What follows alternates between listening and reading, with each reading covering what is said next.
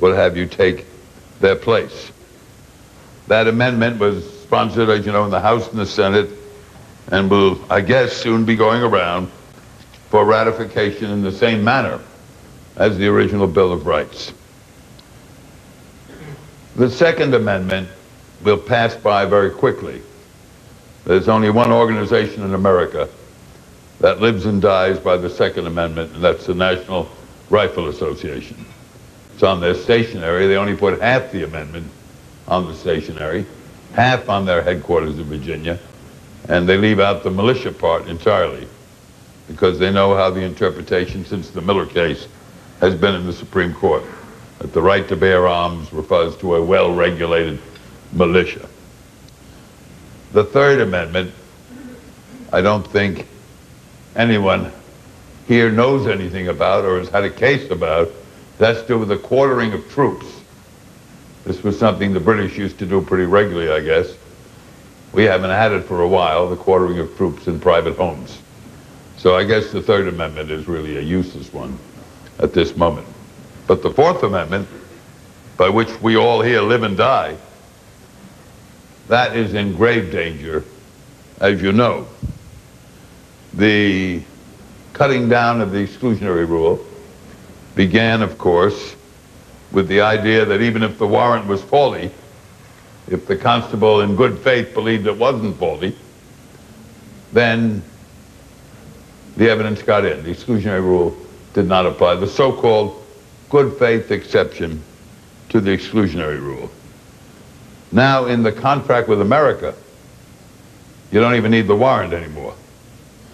The language, and I quoted it because it was kind of interesting, that the exclusionary rule will not apply if the officer, without a warrant, conducts a search under the, quote, objectively reasonable belief that it was in accordance with Fourth Amendment, with the Fourth Amendment, even if no search warrant existed.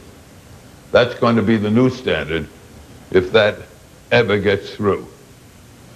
But they've broken it down so many other ways. When I was in law school, you couldn't hold suspects 48 hours without a warrant. Now, of course, you can. We didn't have warrantless searches of clothes bags and cars. Now we do. Justice O'Connor ruled in one case that you can ask people in public transportation if they want to be searched, and that was all right because they could always refuse. But you know, you have standing next to you that man that appears in the Western Union money orders, the cop with the sunglasses, big, brawny. Mister, I'd like to search your bag. And you know very few people are going to say no to that. And I guess if they say no, that's probable cause to search. Uh, random drug testing, federal employees, searches abroad of non-citizens by U.S. agents, all has been authorized. So the Fourth Amendment, which really was the gem of the Bill of Rights, because the thing they feared the most, these colonials, were the writs of assistance, the open-ended general writs signed by the king, which existed as long as he lived. And all you did is fill in the names when you wanted to use them.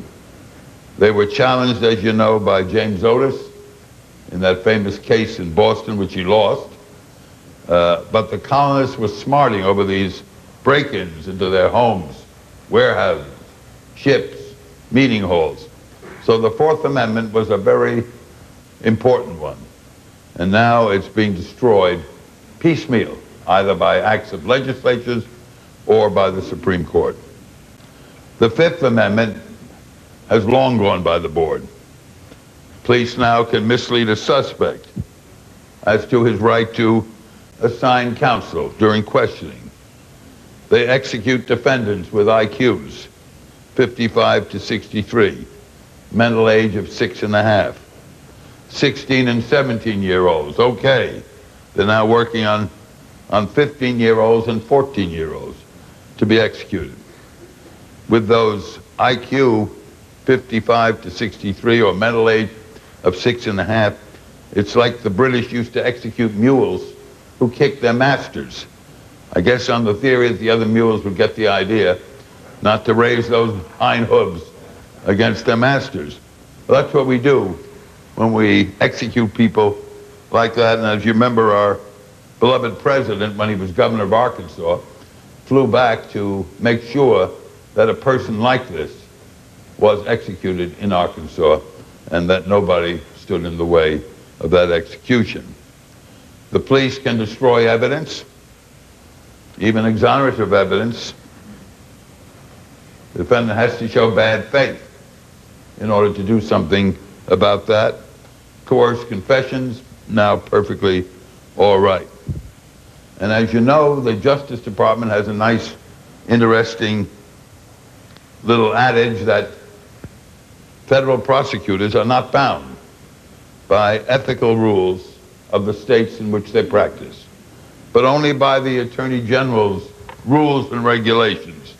So they've taken prosecutorial misconduct out of the realm of any state ethical rules. Victims are allowed to testify in death penalty sentencing phases as to the impact upon them, but they refuse to allow a victim's family to testify on behalf of a defendant during such a, a phase. Habeas corpus is, as you know, so badly damaged federal habeas corpus that it virtually doesn't exist in so many areas. You have a new rule concept. Uh, you have the aspect that if the state says no new evidence after a certain period of time, that that will govern and control federal habeas.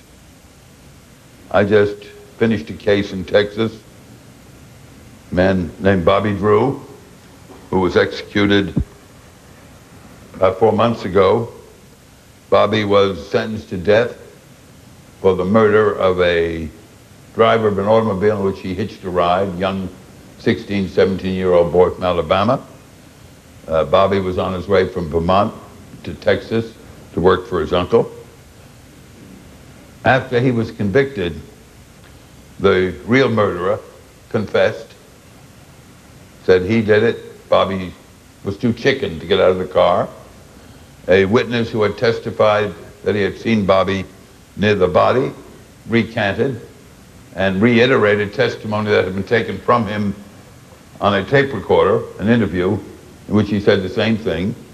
But because the information came more than 30 days after Texas rule that 30 days after judgment of conviction, no more new evidence can be produced. And so Bobby was put to death. Uh, many of you know the story of Herrera. Uh, Herrera was sentenced to death for the killing of two police officers in the Rio Grande Valley of Texas. Years after the murders, years after his conviction, the son of the real murderer came forward and said he had been in the car when his father shot the two police officers. The lawyer for that man came forward. The man was dead came forward and said he could now speak that that man had confessed to him that he had indeed shot the two officers more than 30 days after the conviction. That's the case in which the Supreme Court said innocence is irrelevant in these habeas corpus cases, and Herrera was executed by lethal injection in what's called the walls in Huntsville, Texas. They have the inexcusable neg neglect concept, you don't raise it in your first habeas. You can't raise it in your second, even though it came to you after the completion of the first habeas.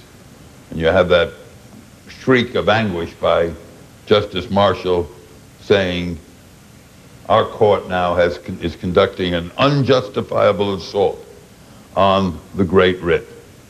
Procedural defaults in state court proceedings knock out federal habeas. Uh, it's a situation where federal habeas, if you have any access to it at all, is in such jeopardy that it, it's as if it doesn't really exist. We try, but so many obstacles have been erected to federal habeas.